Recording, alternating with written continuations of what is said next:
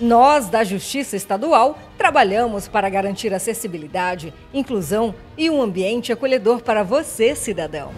Para isso, criamos as salas passivas em todos os fóruns de Mato Grosso, totalmente equipadas para atender aqueles que não têm acesso à internet ou pessoas com dificuldades com a tecnologia.